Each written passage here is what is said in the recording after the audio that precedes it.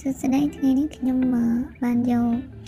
អឺផ្លែសាកេពីផ្ទះម៉ាក់របស់ខ្ញុំហើយអឺអីសាផ្លែវាច្រើនអញ្ចឹងខ្ញុំមកបានយកវាមកមកឆឹងចាជាដំបូងយើងចិត្តសបកវារួចហើយអឺ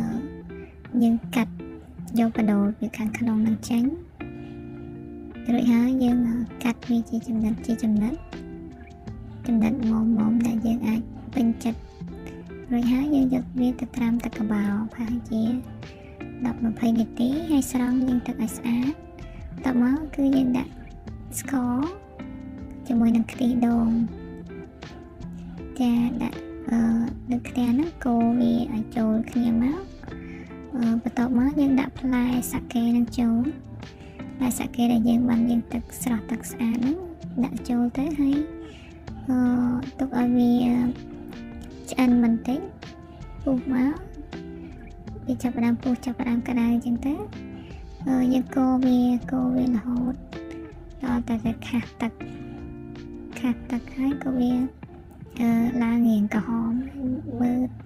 ល្មមថាមើលទៅអាចឆ្អិនល្អហើយហើយយើងផ្ងំវាបន្តិចយើងផ្ងំវាឲ្យរៀងស្ងួតស្ងួតបន្តិចទៅហើយ តមកគឺឆ្អិនហើយអញ្ចឹងយើងអាចដួសដាក់ចានបានតែប៉ុណ្្នឹងឯងអ្នកទាំងអស់គ្នាផ្លែសាកេយើងគឺបានឆ្អិនហើយហើយផ្លែនេះ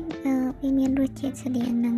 ដំឡូងដែរតែមានរសជាតិឆ្ងាញ់ជាងដំឡូងចា